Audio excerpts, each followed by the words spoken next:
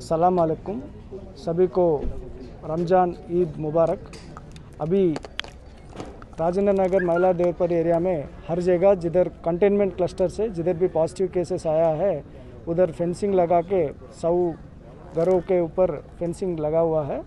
ये पूरा एरिया में जो भी कंटेनमेंट क्लस्टर से उसके सामने कोई भी जाने के लिए मना कर रहे हैं और जो भी अंदर है उसके जो भी आ, राइस होने दो, चावल होने दो, नहीं तो कुछ वेजिटेबल्स होने दो, खरीदना है तो उनको अंदर ही हम पहुँचा रहे हैं। हम सभी पब्लिक से निवेद, निवेदन करते हैं कि जो भी है, सभी घरों में ही रहे, कोई भी बाहर मत आना। और अभी मई सेवन्थ तक मई सेवन्थ तक अभी लॉकडाउन एक्सटेंड हो गया तेलंगाना स्टेट में।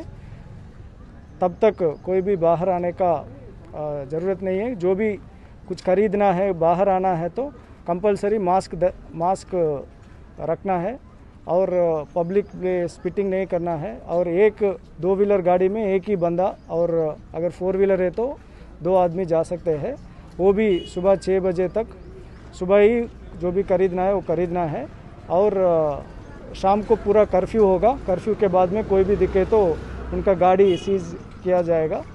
और हम सबसे अभी निवेदन करते हैं सभी टेंपल मस्जिद और चर्चेस में आ, कोई भी खुला नहीं होगा, सभी जगह बंद है। और जिसी को भी प्रेयर करना है तो घर में प्रेयर करने के लिए हम रिक्वेस्ट कर रहे हैं। और अभी आने वाले बंद है। और जिसी को भी प्रेयर करना है तो घर में प्रेयर करने के लिए हम रिक्वेस्ट कर रहे हैं। और अभी आने वाले रमज़ान ईद के दिन भी हम सबको गुजारिश कर रहे हैं कि आप घरों में रहे, घरों में ही आपका प्रेयर्स करें। और जो भी आपको फल चाहिए, नहीं तो ड्राई फ्रूट्स चाहिए वो अभी अभी से ही वो खरीद के घर पे रखें ताकि आप बाहर आने का कोई भी आवश्यकता नहीं पड़ेगा।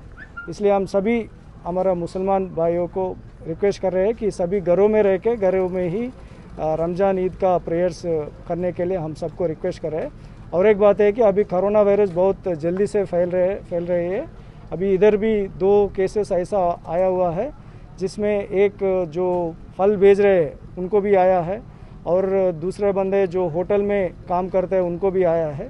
अभी ये दोनों लोगों को भी कोई भी दूसरे देश से वापस आने का हिस्ट्री नहीं है और कहीं दिल्ली मरकज़ भी नहीं गया हुआ है।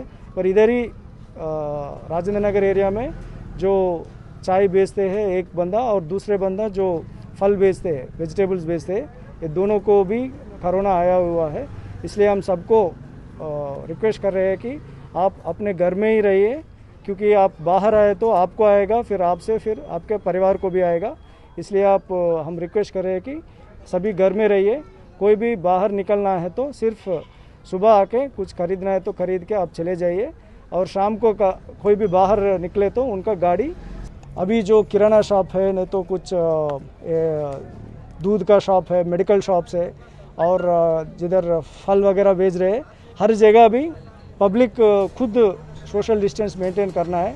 जिधर भी बैंक में जा रहे पैसे आ, आ रहे हैं बोल के उधर भी आप एक बात ये समझ लिए कि जो बैंक में पैसा आया है वो बैंक में ही रहेगा वो कहीं नहीं जाएगा। तो इतना जल्दीबाजी में उधर जाके उसको लेने की ज़रूरत नहीं है। एक दो दिन रुकने के बाद भी वो ले सकते हैं।